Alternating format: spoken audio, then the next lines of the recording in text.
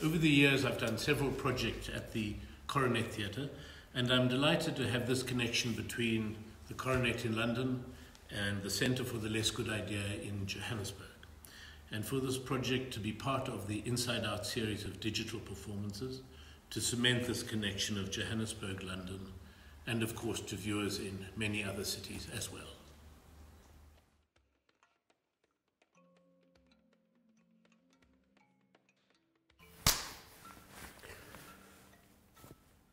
The Center for the Less Good Idea is an art center in downtown Johannesburg that was started four years ago. It's a center for different musicians, artists, actors, dancers, videographers, writers to come together and find the energy that comes from unexpected collaborations. The idea is that you'd start with the first impulse, a first idea, the good idea, but in the process of following this idea, of rehearsals, of improvisations, of putting the musician together with the poet, uh, new things emerge from the periphery, from the periphery of the process, from the activity of making. These are the less good ideas, the ideas at the edge, but they come into the center and start shaping and forming and changing the ideas of the good idea. In practical terms, it means we have two seasons a year in which different curators are invited to invite a range of performers, writers, artists, makers, theatre makers, to make a season of four or five days of duration to show primarily the citizens of Johannesburg. So far we have had seven seasons, and our seventh season, which was scheduled for this last April, was of course impossible to produce in its form where it should be of a live audience in our different spaces downtown Johannesburg. Instead, what we did was halfway through the rehearsal process, when we realized we would be in lockdown and uh, public performances, live performances would be impossible, we filmed several of the different projects, of the approximately 40 projects that were being made for the season, and filmed them and put them online. So some of them are a work in progress, some were more finished than others, and we had an online festival over seven evenings of streaming and of having online premieres of these pieces. This particular season, of which was curated by myself, William Kentridge, and Phala Ookeditse Phala, who is the animateur, the director of the Center for the Less Good Idea, took as its principle working with found text, existing texts, seeing how a novel, a poem, a chapter of a novel could be transformed or put onto the stage. We used techniques of a traditional stage with musicians and performers, but we also developed a program using Pepper's Ghosts. The principle of the Pepper's Ghost is to have a half silvered mirror. When there is a light on in front of the mirror, you can see its reflection on the mirror. And this is either a person, a human, or else a projection which we can show on the floor, which is reflected into the mirror. If there is light behind the mirror, then what one sees is the image behind the mirror as well. So we work with a combination of live performance and projected performance or live performance in front of the mirror. And one of them, a project I directed, is uh, extract or a version of a Mayakovsky early play called Mayakovsky, A Tragedy, written in 1913. For us, it's performed by one actor, and it uses a mixture of a live performer and different shadows and other figures that are presented on the same plane. What obviously you don't see in the film is that the physical presence of the actor and the projection seem to occupy the same area rather than the one being in front and the other behind. But the possibilities of working with this medium, of changing scale, of finding an anti-naturalist language, was one that has excited many of the participants in this seventh season, and we hope that this version of it will make sense to viewers seeing it only on a digital platform.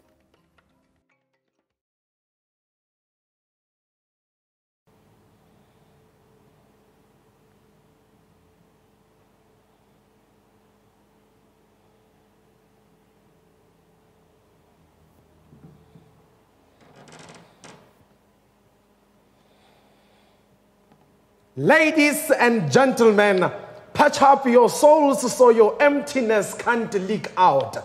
I don't know whether a gulp of spit is an insult or not. I am dry as stone image. They've milked me like a cow.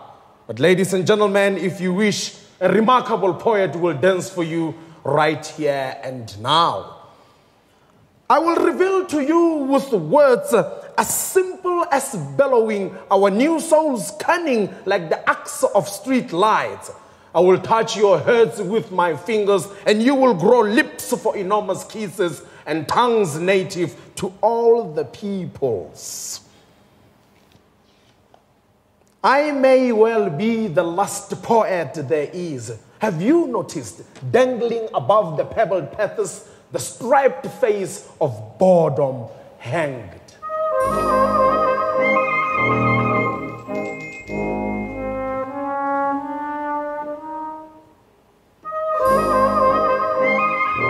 Can you understand why I, quite calmly, through the hailstorm of jeers, carry my soul on a platter to be dined on by future years?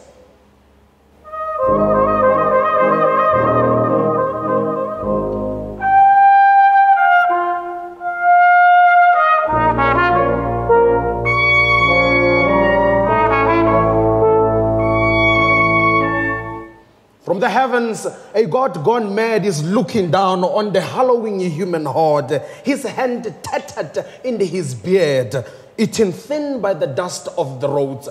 He is God. Yet he talks of cruel retributions. But the midriff in your poor, shabby souls is one thing. Get rid of him. Go stroke cats. Stroke cats that are black and scrawny only in cats whose fur is shot through with blackness will you catch the flashes of electric eyes.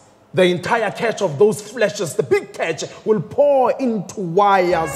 Those muscle of tractions, street cars will start off in a rush.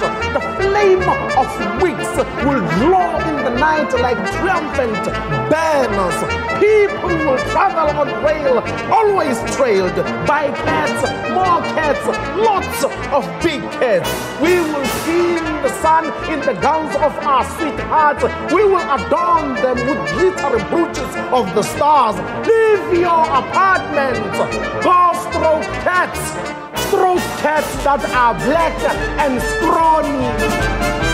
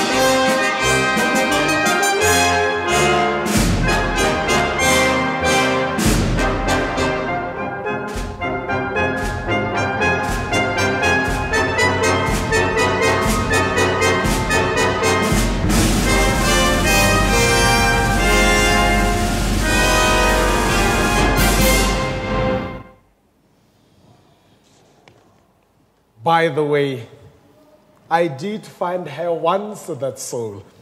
She came out wearing a blue dressing gown and said, Sit down.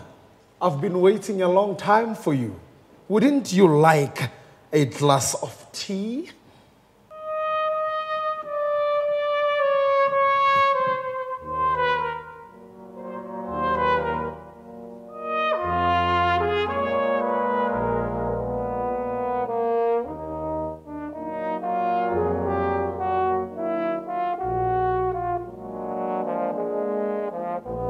Ladies and gentlemen, ladies and gentlemen, wait. Sir, please tell me quickly do you and others want to ban mothers? Sir, please.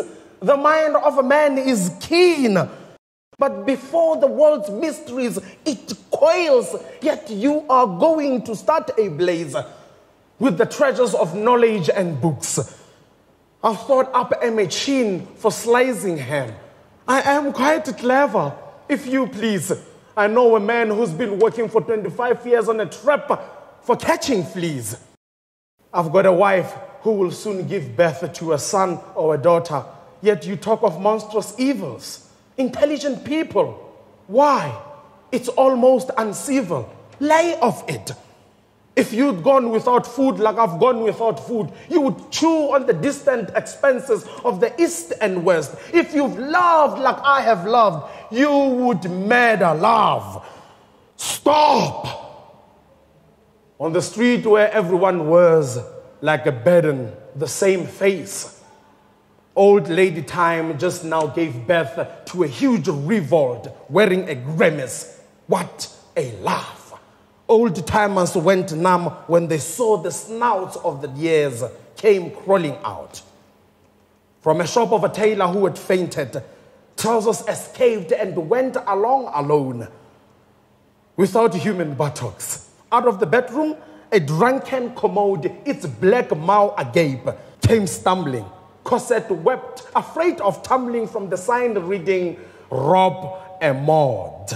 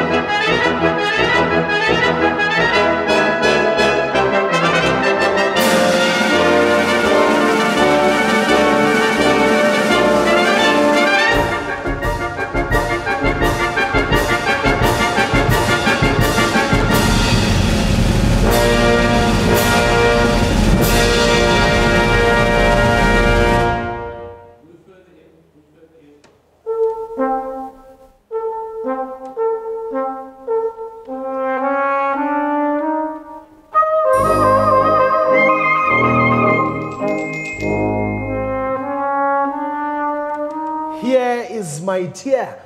Take it. It's no use to me. Here. That's all right. It is white. Silk made of filaments from eyes transmitting grief. What's that to you? My son is dying. No trouble. Here is another tear. You could put it in your shoe and it would make a fine buckle.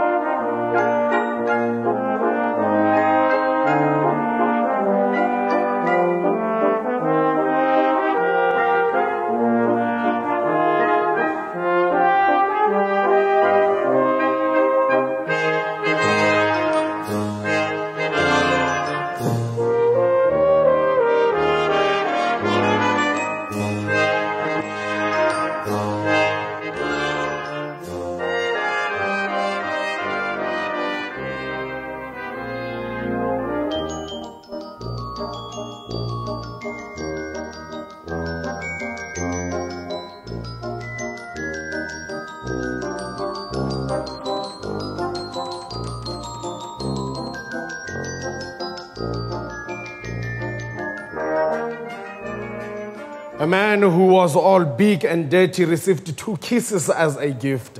He was an awkward fellow and did not know what to do with them. But the man was cold. He chose one of the kisses bigger than the other and put it on his galoshes. But the winter was bitter, cold, and nipped at his fingers. Oh, bother, said the man. I'll throw these useless kisses away. And he did. When he looked around, the kiss was lying there on the sofa, huge, fat, and tall. First laughing and then in a rage. Good Lord! The man said, beginning to cry, I've never believed that I'd get so tired. I'll just have to hang myself. That's all while he hanged there, vile, pitiful. In their bedrooms, women, factories without smoke or smokestacks, manufactured pieces by millions, all kinds, both big and little, with the meaty livers that smack.